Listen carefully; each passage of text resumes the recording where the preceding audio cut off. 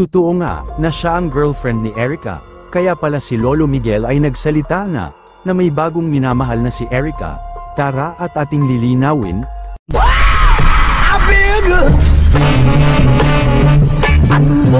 Pakiusap lang na sana unawain at tapusin ang video, nang sa ganun ay maintindihan kung anong nilalaman ng kwento na ito.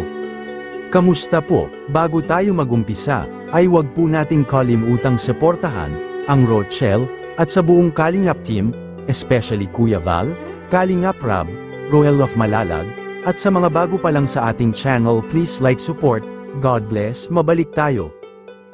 Nakakalungkot nga kung iisipin, na nagsalita na nga po si Lolo Miguel, sa kanyang video, marami kasing isiniwalat si Lolo Miguel, sa kanyang apo na si Erica, at hindi po mawawala ang kabila-kabilang komento, ng mga viewers patungkol dito. Pero mas nakakalungkot nga ito, sa pagsalita ni Lolo Miguel na meron na nga pong ibang mahal na si Erica.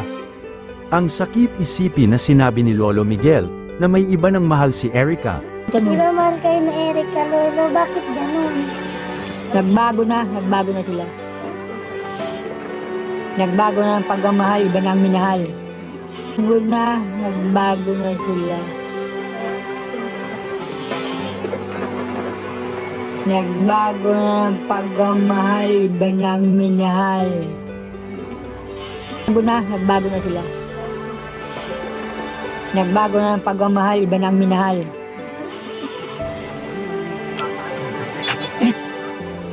Lolo, niyo po. Ikaw. Lolo, Kala ko wala na nagmamahal sa amin, may marami pa pala. Kasi kayo po ang tutulong, tutulong tao. Totoong tao. Totoong tao. Mama, kayo daw ang totoong tao. Ikaw na papa, totoong tao.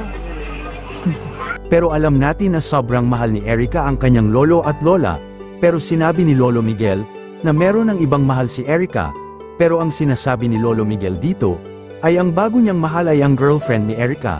Kayo ano po ang inyong opinion? Dahil meron po tayong kanya-kanyang opinion, tulad ko ito ang aking opinion, kayo po anong masasabi niyo about dito? Mag-comment lang at ating babasahin mga idol, God bless.